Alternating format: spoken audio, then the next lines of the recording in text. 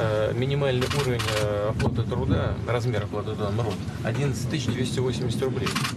Это такую зарплату получает 3 миллиона 200 тысяч человек.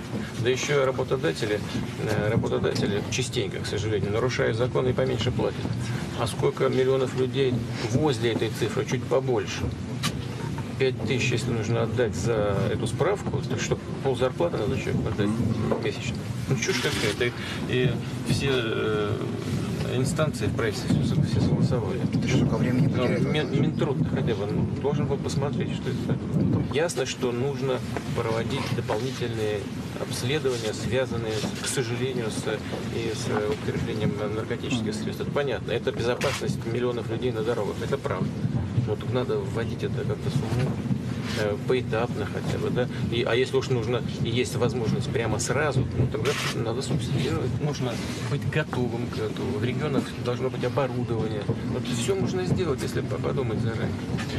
А можно вот Да вы как с дуба рухнули.